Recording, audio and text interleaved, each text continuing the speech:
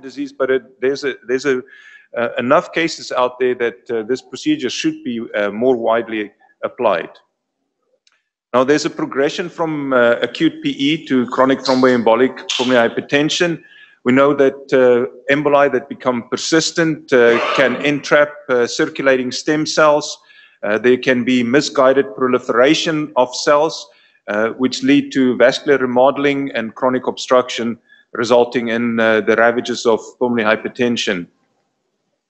So this is our deep venous thrombus. Um, this is a, often a presentation where we see a CT scan that uh, show a patient with a large uh, burden of emboli in the, in the pulmonary arteries.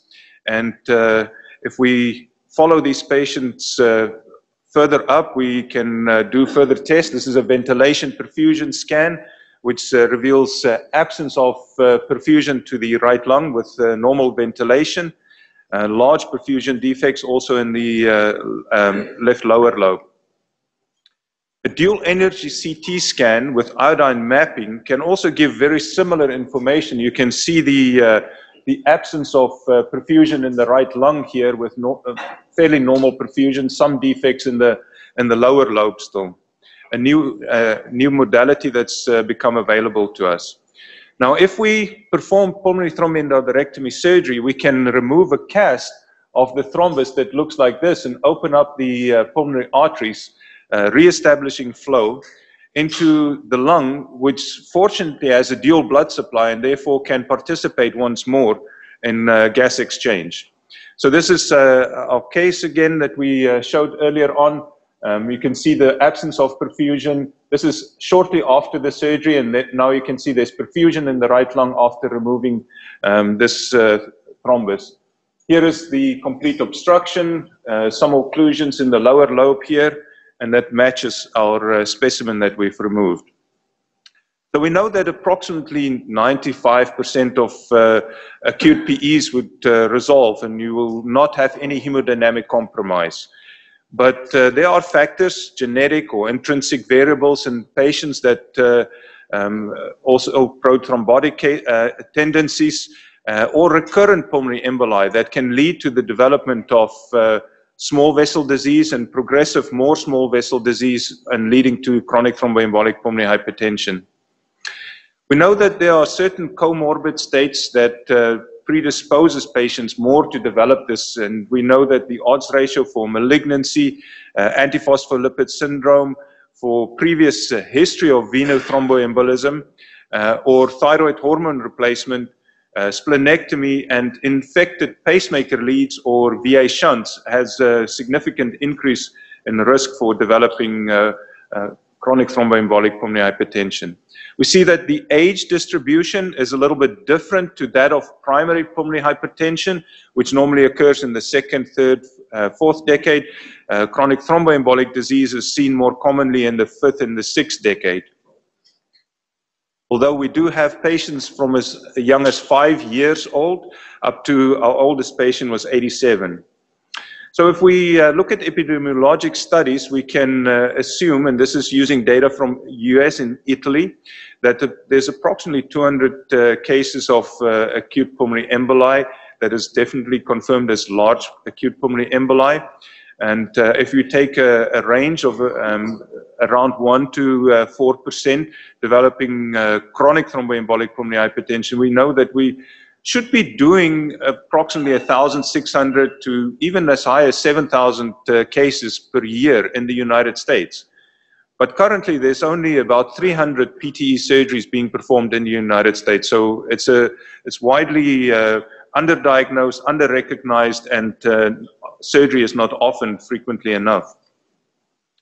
What is the natural history of uh, chronic thromboembolic pulmonary hypertension? So also from epidemiologic studies, we know that uh, the higher the mean pulmonary artery pressure, the worse the outcome. And if we have somebody with a mean pulmonary artery pressure of 50, we know that the two-year survival is less than 20%. So it's a very morbid disease, um, like heart failure and uh, more morbid than many of the malignancies. On the right-hand pane is a, is a study uh, that was done in 2001 looking at uh, two populations. One, there was 54 total patients. Four patients were offered pulmonary thromboendarterectomy surgery, and the rest were just followed. And you can see how uh, drastically the uh, survival is influenced um, by doing pulmonary thromboendarterectomy surgery versus uh, just um, leaving the patient trying medical therapy.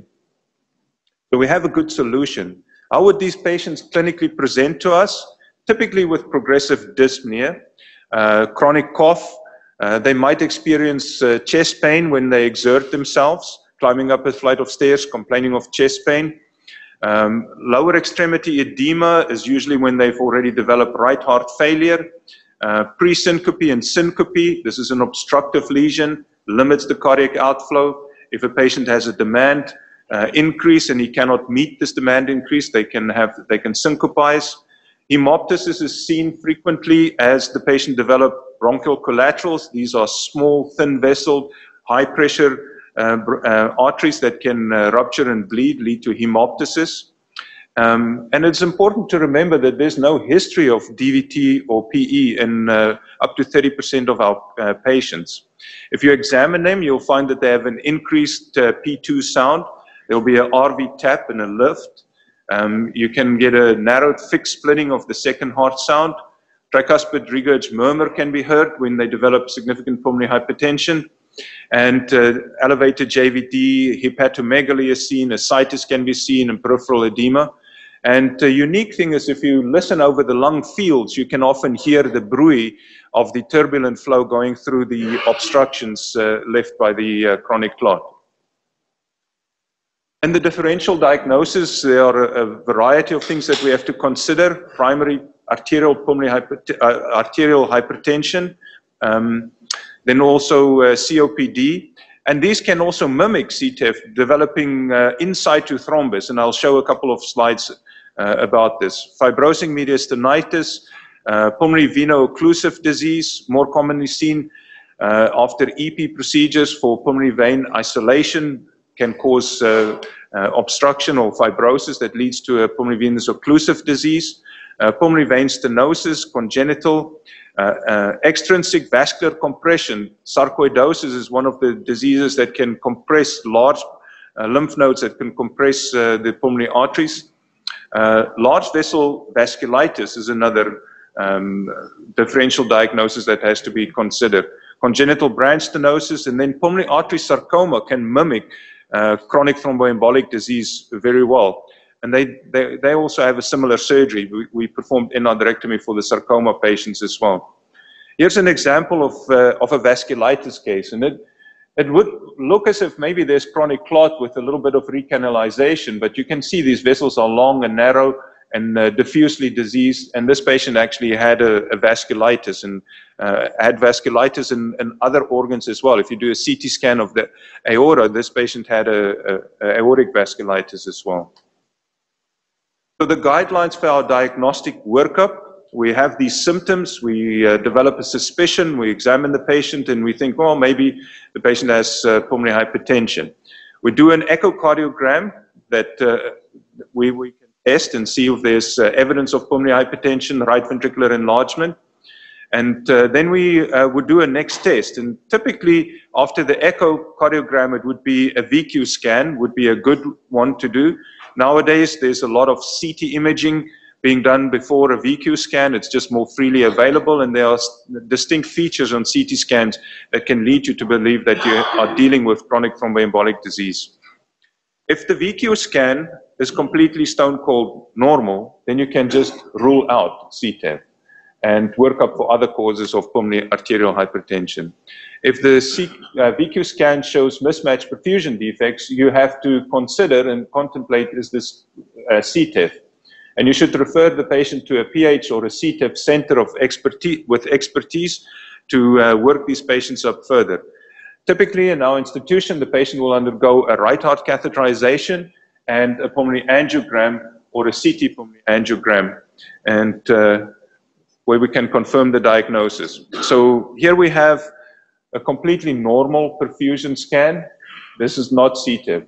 This is the defects that we see, and this patient should be worked up for CTEPH.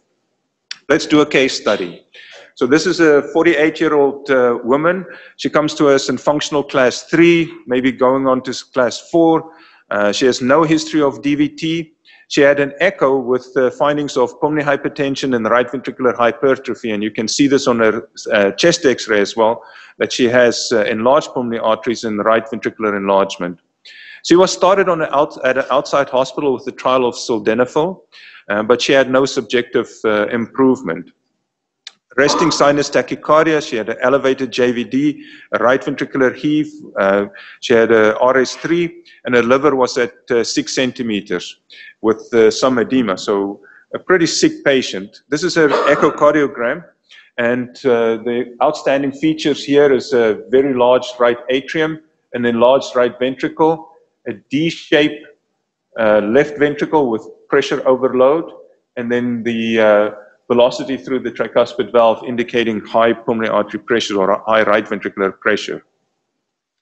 Uh, received a VQ scan, and here you can see multiple uh, moth-eaten like appearance, uh, multiple perfusion defects um, with normal ventilation.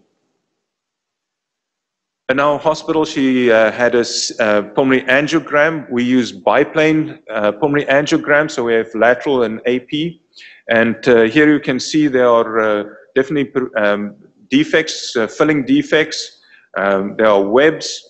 Um, there are abrupt cutoffs. Uh, there are hypoperfused lung, where you can see that there's just not much perfusion into the lung, um, and then filling defects. Typically, the disease is more in the right lung than in the left lung, and it's typically more in the lower lobes than in the upper lobes.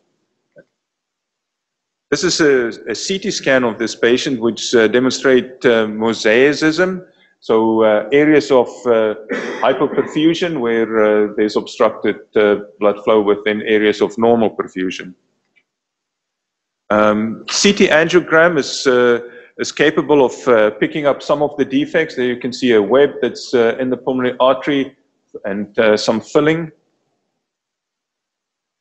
A couple of things about CT that I want to make statements. Two, one is the absence of proximal clot on the CT angiogram does not rule out surgical accessible CTEPH for the most part.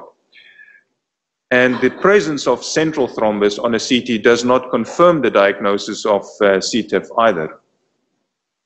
Here we can see a patient with uh, acute clot, um, very clearly visible the, the features of an acute pulmonary embolism. And a year later, there's a tiny little, very uh, subtle change that uh, might be construed as even a, a, branch point, but this is the, the organized thrombus that uh, is, becomes very subtle. So um, not so easy to diagnose chronic state uh, with a CT scan. Another giveaway that you might be dealing with uh, chronic thromboembolic disease is uh, mediastinal collaterals. And here you can see around the airways, the body is trying to just get blood flow to, uh, to come into the lung, and uh, you get uh, mediastinal collaterals that uh, is prominent. Also, vessel asymmetry. Uh, clearly, there's more vessels on this side than on, on this side. Most probably a proximal obstruction to leave a pattern like this. This is a case of in situ thrombus, and if you look here, you can clearly see the, the clots here. And, uh, but if you look at the VQ scan, it's a completely normal VQ scan. If you take this patient to the operating room, you won't make any change to the patient's condition. You would just give them a sternotomy and, and uh, potential risk for complications, but there won't be any benefit uh, here. This is an in situ thrombus that developed in a patient with, with uh, arterial uh, pulmonary hypertension. So this is the hemodynamics from our patient. Uh, she had, at a right heart cath, the RA pressure is 26, pulmonary artery pressure 90 over 35, mean of 57, wedge pressure 16, cardiac output 2.5, and a pulmonary vascular resistance of 1,294, and pulmonary artery saturation was 43%. There were multiple segmental level disease, as we've already shown. And um, now you have to ask yourself, do the hemodynamics fit the angiography? Does the amount of pulmonary hypertension match the defects that you see? Because if they don't, you might be dealing with arterial pulmonary hypertension on a, on a capillary level that uh, won't get better from a, a, a, surgery. So what are the options for this patient here? We can just continue with medical therapy and Um, I'm not going to go into too much detail, but there are drugs approved for uh, patients that uh, are non-surgical candidates. Um, you can do a surgical pulmonary endarterectomy, and we'll talk a little bit about operability assessment. And then balloon pulmonary angioplasty is a, uh, a technique that's been uh, used for many years, in, especially in, in Japan, but uh, nowadays uh, being used more in the United States as well. It is an obstructive disease, and it's uh, it's kind of counterintuitive that you can uh, use balloon pulmonary angioplasty, but uh, it definitely has a role to play, especially in the more distal disease. And then there's even talk about uh, maybe you can do pulmonary artery denervation, um, but that won't really help for an obstructive disease. The operability uh, discussion, it's kind of difficult to address. And every time we have a case, we have a multidisciplinary team that meets and we discuss the case. Um, and it's impossible to just have general guidelines that we can put out there and uh, um, put it for every uh, center to just use this. But uh, factors that would influence the decision is if there's a clear diagnosis of CTEPH. If there's no clots, then there's no surgery. But if there's a clear diagnosis, then you uh, contemplate doing the surgery. Then you look as there comorbidities that will limit the patient's ability to gain benefit from the operation. Does he have severe COPD and you take out the clots, he's still going to be limited. Uh, most probably shouldn't do it. Is he so old and frail that he won't be able to rehabilitate after the surgery? Does he have severe kidney dis disorder? Is there other comorbidities? And then you have to look at the anatomy and the hemodynamic correlation. The, it has to match up the, how high the pulmonary artery pressure is with how much obstruction you can relieve. Then you also have to consider the surgical experience at your center, um, especially uh, do you have surgeons that are capable and, and, familiar with doing very distal disease if you, if you present a case with distal disease to them? And then the center's experience, both the anesthesia, the critical care, whether they can manage these patients afterwards. So inoperable, uh, at UCSD, about two to three percent of cases that gets referred to us, we turn down for surgery. So not many patients get turned down. We don't think there's any degree of right heart failure that makes a patient inoperable. We will even take a patient on ECMO because of right heart failure to the operating room if we are sure that we have the right diagnosis, that we have operable disease. We also don't think that, uh, that there's a pulmonary hypertension grade that is so high that we would not take uh, the patient. So generally, if the etiology is thromboembolic, we would offer operation. I do want to mention that uh, preoperative pulmonary va uh, vascular resistance uh, is a predictor of mortality. And this is data from uh, the, the, Paris group, that uh, showed that the higher the, the uh, pulmonary artery pressures, uh, the higher the, the operative mortality. And clearly, if you have patients over a thousand, it's a, it's a fairly steep angle there on the curve. So this is our uh, angiogram that we showed. This is the specimen that came out of the patient. So this is level three, so segmental level disease. And there's multiple segments that were obstructed. And uh, this is the uh, post-operative uh, VQ scan. Um, post-operative, early post-operative, there's a lot of changes, but you can basically see some of the defects that have uh, resolved and uh, dark areas that are now bright and there's actually some steal phenomena that uh, can happen um, in the early post-operative phase. Uh, typically, this VQ scan will become fairly homogeneous and normal uh, looking after uh, approximately three to six months.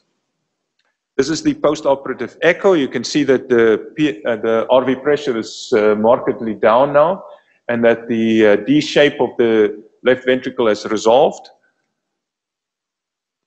So what are the rationale for this uh, operation? To restore perfusion to functional tissue. The tissue is functional because they have dual blood supply. They have bronchial circulation keeping the lung tissue alive, so it's not necessarily fibrosed, necrotic, or uh, scarred. The aim of the operation is threefold. First one is hemodynamic. We want to relieve the right heart failure. And the second is uh, alveolo-respiratory. We want to restore uh, ventilation um, and uh, uh, gas exchange. And the next one is palliative. We want to prevent the progressive right ventricular failure and development of small vessel disease. Similar to overflowing an area as a congenital case uh, with a shunt, the areas of the lung that is not obstructed is receiving a significant amount of flow, and there's some evidence that there's small vessel changes happening in that uh, unobstructed uh, lung, so you want to prevent that. The surgical principles is well established. We do this operation through a median sternotomy on cardiopulmonary bypass uh, with circulatory arrest. And there's a lot of debate. Everybody always asks me, why do you have to do circulatory arrest? Um, but once you do the operation, you will know why you need to do it because blood just uh, wants to get out. And if you open a pulmonary artery, that's the lowest point. It's exposed to atmospheric pressure and blood is coming there in your field. So you definitely do need circulatory arrest. This was definitively uh, studied by the Papworth group, and they uh, basically did a randomized controlled trial between circulatory arrest and no circulatory arrest, and the outcomes were better in the circulatory arrest. Uh, both the neurolog neurocognitive uh, testing as well as uh, the um, reduction in pulmonary vascular resistance. You have to typically do a bilateral endarterectomy. It is very rare to get a disease that uh, obstruction that is just unilateral almost always there's some emboli that goes into both lungs, and you should at least inspect both lungs.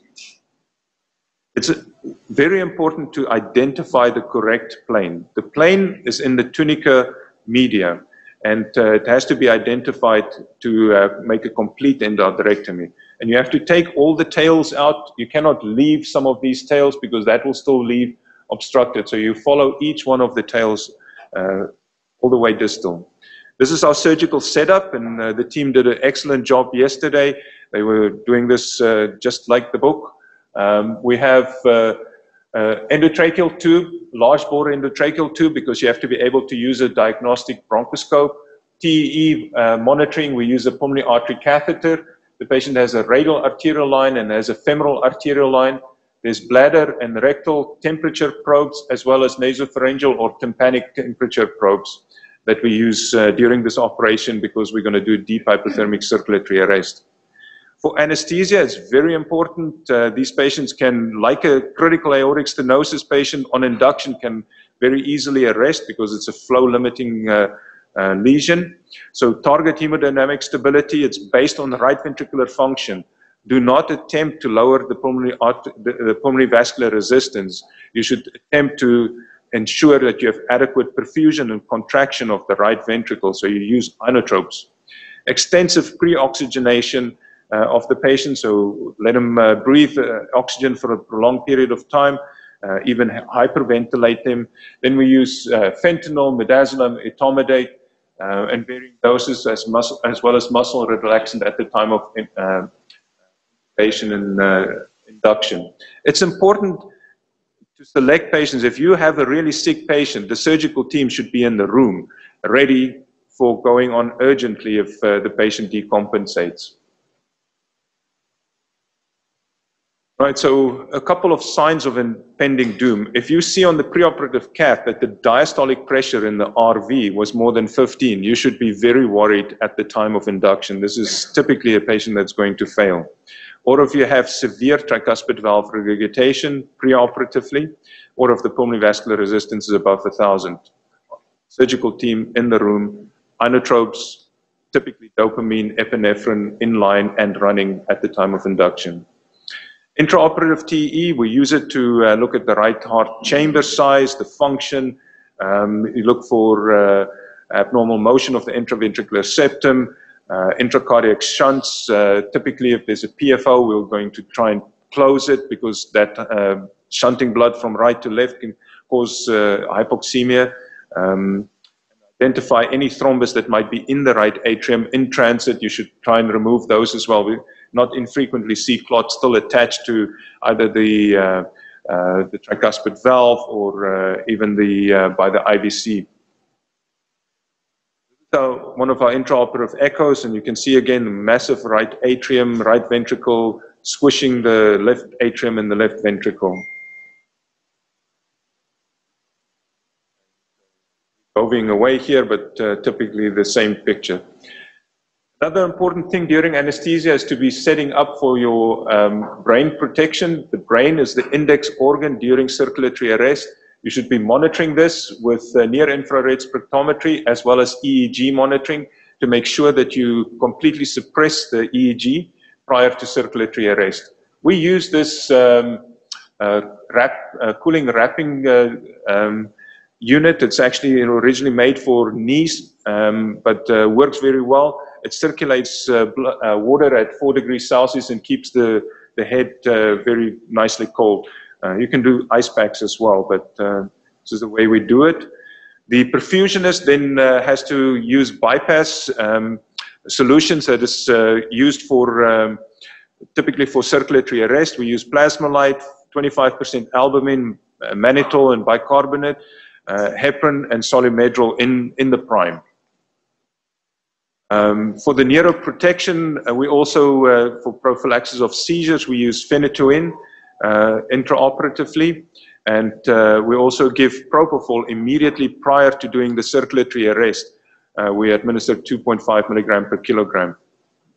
After completion of the endarterectomy, when we start recirculating again, we give methylprednisolone 500 milligrams as well as mannitol. This is to try and stabilize the membranes and reduce the uh, possibility for brain edema.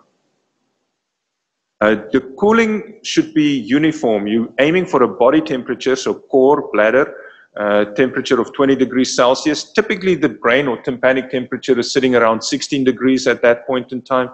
Cooling usually takes around an hour depending on body size. We maintain a gradient of uh, 10 degrees Celsius. We don't try to cool too rapidly, otherwise it won't be a uniform cooling. And then we already talked about the propofol and the methylprednisolone. We limit the deep hypothermic circulatory arrest to 20 minutes at a time. Uh, if we do that and we reperfuse after the 20 minutes, and then we can do multiple episodes of 20 minutes. And we've been as, as far out as 120 minutes of total circulatory arrest um, with uh, excellent outcomes, no neurologic uh, effect. Um, so just make sure that you remember to turn the stopcocks off when you drain the patient and you don't entrain air. Um, confirm that the head is cold, that your EEG is flat, and uh, then you try and ventilate, squeeze the blood out of the lungs prior to the surgeon starting the endarterectomy. So this is our surgical setup. Um, here we, we are cannulated. Um, we have a high ascending aorta cannulation. We have bicaval cannulas with the cannula coming up into the uh, SVC. This one goes down into the IVC. We use a cooling jacket that we wrap around the heart.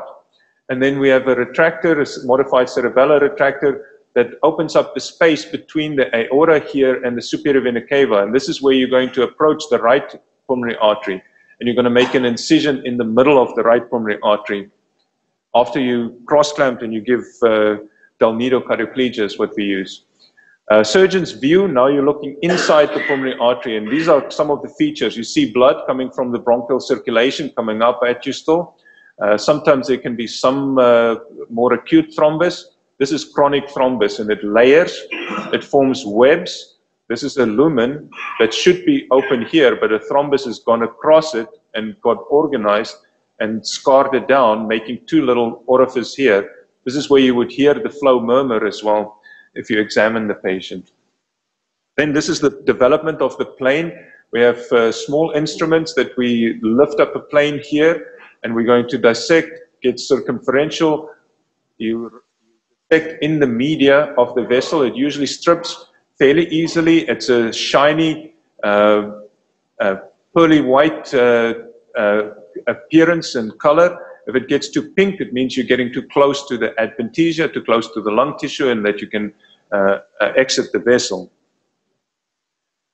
This is then looking into the pulmonary artery. You have this thrombus here. You are pushing the patient away from the thrombus, and then you are opening up and you take each one of these branches all the way as deep as it goes. If there's a bifurcation, you make sure that you take all of the tails of the bifurcation as you dissect deeper down.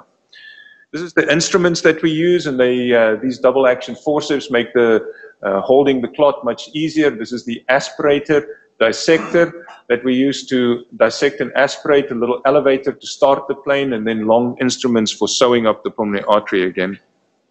This is a video where we uh, just showing this is uh, earlier this week. Uh, this is actually a patient from Texas that uh, came to us. Um, looking inside the pulmonary artery. This is uh, the thrombus that we see. And uh, we're going to start the dissection plane, use the elevator. Initially, I was a little bit too deep, so I'm finding the right plane, getting in it. You can see it strips fairly easily at this point in time.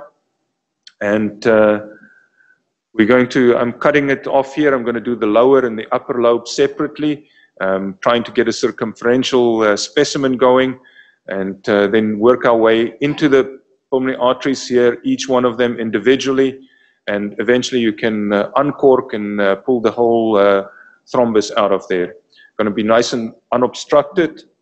Um, here we're working on the upper lobe, and uh, we, there's a little bit of a dance that you have to do with your uh, OR team here, and I have a little video that will show it there. Um, the surgeon cannot take his head away. He has to look right at the plane of dissection uh, he will lose time if he looks around, so the team is very important to put the instruments in his hand and uh, that the communication should be smooth. We're only limited to 20 minutes at a time to be able to uh, do the dissection. Here we're going into the left side now. Uh, surgeon stands on the uh, patient's right side, looking into the left pulmonary artery. You can see the thickening. On the left side, I often use a beaver blade, a, a, knife to cut in the back part of the vessel to scrape until I get into the right plane and then developing it circumferentially. We uh, keep dissecting down, another specimen removed. We're looking inside, and that's very normal appearing pulmonary artery. So after the obstructions were relieved, we had a very nice uh, normal uh, pulmonary artery. When you then try to separate from bypass, you have to rewarm to a normothermia. Typically takes up to two hours. Warming takes much longer than, uh, than the cooling. Um, you go through your checklist. Typically, we start dopamine infusion, sometimes epinephrine. Um, we use temporary pacing wires. Uh, typically, we pace the patient around 80 um, to try and help the right ventricle. You do your TEE assessments and uh, you check the endotracheal tube to see if there's any evidence of uh, bleeding. If there's frothy sputum or airway bleeding, you have a problem and you're going to have to deal with this. Uh, complications that can happen, reperfusion pulmonary edema, up to 30% of cases, airway bleeding. It's not that common, but if you have it, it's uh, the third most common cause of death for these patients. Hard to manage because uh, you can have a lot of blood coming into the airway, uh, preventing the patient from oxygenating properly. Um, so frank blood implies a mechanical violation. Here's a test, it's called the bubble test. Um, and we were doing it yesterday in the operating room. You basically give a Valsalva while you're looking inside after you've gone on to bypass, and you can clearly see air coming into the pulmonary artery. So this patient has a break in the pulmonary artery. You have to control that. You try and dissect. You can either dissect on the outside into the hilum and see if you can uh, occlude, put a clip on that specific branch where the air is coming from, see if that controls it. Sometimes you have to do an intraluminal uh, obstruction of that branch and you have to sacrifice that segment. So the management of massive airway bleeding, uh, the goal is to prevent exsanguination because they can pour a liter a minute out of their uh, airway. You want to maintain oxygenation. We can do conservative management if there's just a little bit of blood in the airway. And uh, you can just beat the blood back with uh, PEEP and uh, reversal of heparin and correction of, of uh, coagulopathies. So typically you have blood available. If it's massive bleeding, you have to use a blocker. Here we have a, um, a Uniblocker that goes into the airway and we block off one of the lungs. Uh, fortunately for this patient, uh, he's doing okay. We can oxygenate on one. Sometimes you can get one and a half lung if, if you can isolate exactly which airway the bleeding is coming from and uh, then you can reverse and uh, wait for a period of time and then uh, you can take the blocker down. Occasionally the bleeding is so much that uh, you cannot oxygenate the patient and you have to completely block off the lung. If you don't have adequate oxygenation, you have to put a veno-veno ECMO cannula. This is what we've done in this case here. You can see the Avalon cannula sitting here. And uh, we don't use anticoagulation at all. We completely reverse them, normalize them, and typically this heals up. The injury heals up and you can come off bypass. Hypoxemia after pulmonary endarterectomy. Um, typically it's atelectasis. Um, there might be still VQ mismatching, uh, or it might be a reperfusion lung injury that causes hypoxemia. Um, I, reperfusion lung injury is a lot of debate. Okay, what is it and how exactly do you, is it uh, just hypoxemia with an infiltrate? hypoxemia with an infiltrate uh, after 48 hours, um, or is it uh, when it's after four days? There's a lot of debate, but uh, what we do know is that uh, if you see infiltrates like this, where you uh, have a whiteout uh, segment um, and uh, on the preoperative uh, area you had a mismatch that uh, you corrected, this is typically a reperfusion injury, and this patient might be quite hypoxemic.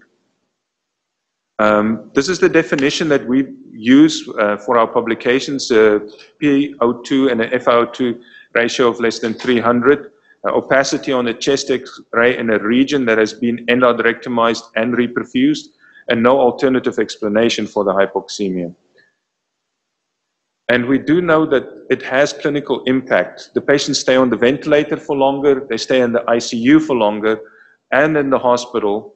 And we know that the mortality is also different. Um, uh, there's uh, no, no injury. Um, this is uh, um, better mortality outcomes than uh, having a reperfusion lung injury. It's a high permeability edema, basically. And if you do a bronchoalveolar lavage, you're going to see a lot of neutrophils and proteins in that specimen. And we do recognize a bimodal distribution. About 60% of the cases happens immediately in the OR. Immediately you come off bypass and there's pulmonary edema coming out of the, the endotracheal tube. There's a frothy uh, sputum out. And then there's another one that happens about 48 hours later, and it's about 30% of reperfusion injuries present like this. Everything looks good. We actually extubate the patient. There's a couple of signs. If you see they become febrile and the white cell count is really high, have a high suspicion that you might suddenly develop reperfusion edema, and you have to be ready. Don't send that patient to the floor. Keep them in the ICU. Watch them a little bit longer.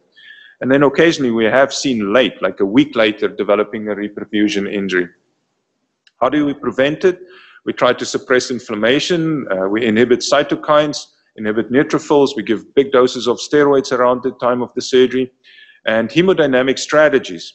We try to limit the cardiac output. We try to not have like a 8, 9, 10 liter cardiac output going through that lung that's just been um, reperfused. So we use a little bit of inotropy in the beginning. We try to use dopamine, which is not as potent, and we check the cardiac output. We aim for a cardiac index of around 2.4. That's enough. You don't need more at this point in time. You can actually be harmful if you have a bigger cardiac output. And then ventilator strategies is basically uh, centered around positive pressure uh, ventilation, PEEP, uh, to uh, prevent the development of edema. The management, we diurese them. Sometimes we have to prone them.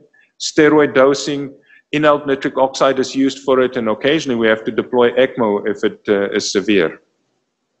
We have seen a, a decline in the uh, uh, incidence of uh, reperfusion uh, pulmonary edema, and I don't know if it's related to the surgical techniques, the newer uh, um, bypass circuits that we have that's less inflammatory, but clearly the incidence of it is, is going down.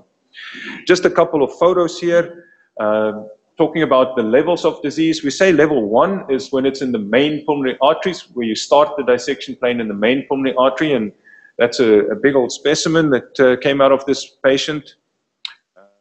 Uh, level one and level two. So here you can see it's the main pulmonary artery, uh, upper lobe and lower lobe, where we took it out. There's some fresh, but the important thing is getting these tails, the chronic, the white, fibrous, leathery uh, stuff out. This is level two started in the lobar, the dissection, and then uh, go down further. Here's some fresh clot um, that sometimes is present. It's much more difficult to remove this, but this is a chronic PE that has been present, and then the patient had a more recent uh, acute uh, embolism on top of it. Um, also a particularly challenging uh, group of uh, patients when they have fresh clot that you have to, because you cannot hold onto it. It's much easier to take out the chronic fibrous disease. Is uh, level two and level 1C. 1C stands for complete occlusion. So this old thrombus completely occluded flow to the left lung. And once we took the thrombus out deeper down, there was previous incidence of uh, more chronic disease that uh, had to be removed as well. Calcifications, sometimes you, uh, uh, if it's been really long standing, the, the thrombus can actually calcify and you can see it on a CT or even on a chest x-ray. Um, more calcified disease, also challenging because it doesn't collapse and it's not so easy to take it off. But as long as you push the patient away from the specimen, you should be able to complete the endarterectomy.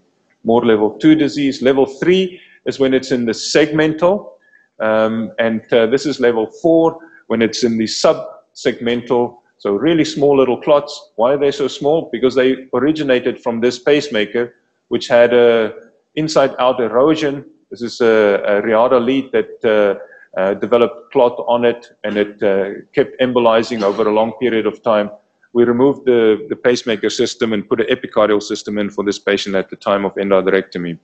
This is level zero disease.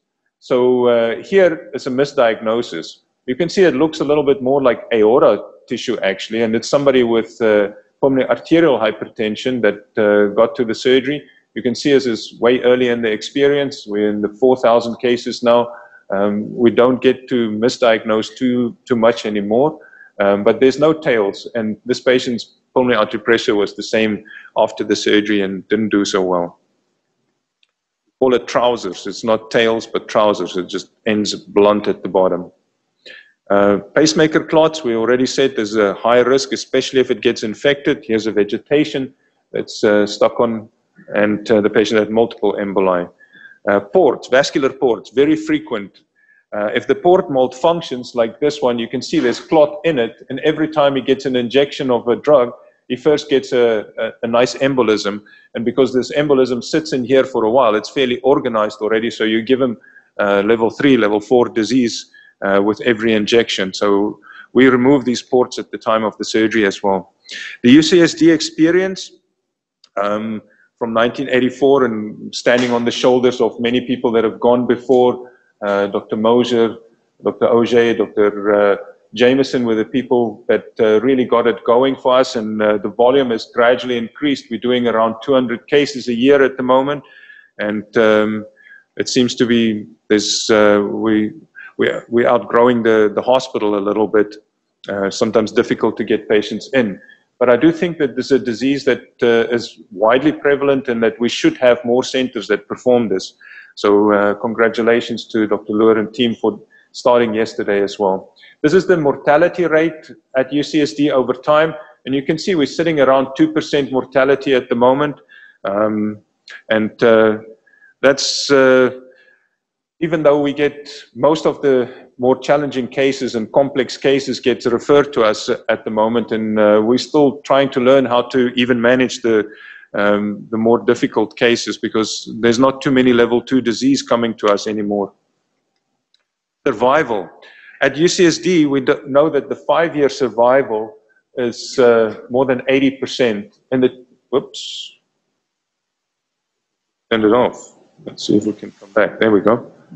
Um, the 10-year uh, survival is uh, still 75%. So much better than lung transplant survival. This is a, a, treatment that should be offered to patients prior to lung transplant consideration. What happened to the hemodynamics? This is a, um, a systematic review by Rahnavardi, uh, looking at all the publications and uh, uh, summarizing the mean pulmonary artery uh, changes from pre to post-op, the pulmonary vascular resistance uh, changes, and uh, he demonstrated uh, that most authors report uh, improvement in hemodynamics, a 35% reduction in mean pulmonary artery pressure, a 1.5 to 2 liter increase in the cardiac output, 1 to 1.5 increase in the cardiac index, and pulmonary vascular resistance almost routinely decreases to around 300. Um, so very good. UCSD, pre and post operative, uh, this is our outcomes. This is an ongoing uh, thing. So systolic pressures uh, coming down from from 79 to 45. The mean PA pressure 47 to 26. Pulmonary vascular resistance average 897 down to 245. The cardiac uh, output goes up from 3.5 to 5.8. So really significant changes for patients. Um, but there's morbidity and mortality. Uh, here you can see that same systematic review shows the mortality and it, uh, it's ranging here mostly around the 5%. There's a couple of uh, people that have uh, in the double digit uh, mortality rate. So it is a procedure that you have to have a good team uh, and all the pieces in place if you want to get good outcomes. This is how long our patients stay. Uh, typically, they stay around 10 days in the, in the hospital. Um, and um, it's hard to get them out much quicker. They take some time. They have to recover from the, um, the lung injury basically during the surgery. So uh, it's a little bit more, longer than a, a, regular CABG. Uh, the survival, um, here you can also see the, the uh, changes in uh, functional capacity, a significant improvement. Um, the six-minute walk test significantly improved after the surgery, and then the survival also in the systematic review has been reported as very good.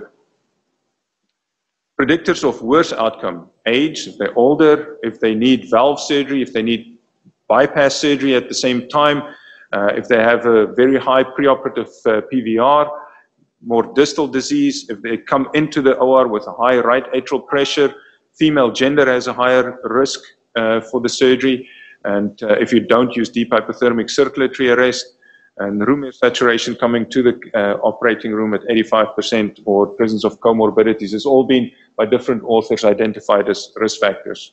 We already mentioned this slide, the higher the PVR, the higher the risk.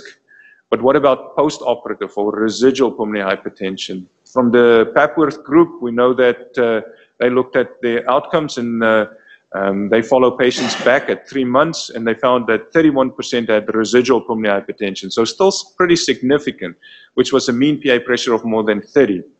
Uh, they found that these patients had worse exercise capacity, had more symptoms than the patients who did not have residual pulmonary hypertension, but their survival at five years was similar to the patients who had no pulmonary hypertension. So they might still be somewhat limited, but they uh, most probably going to have a survival benefit um, in the long run.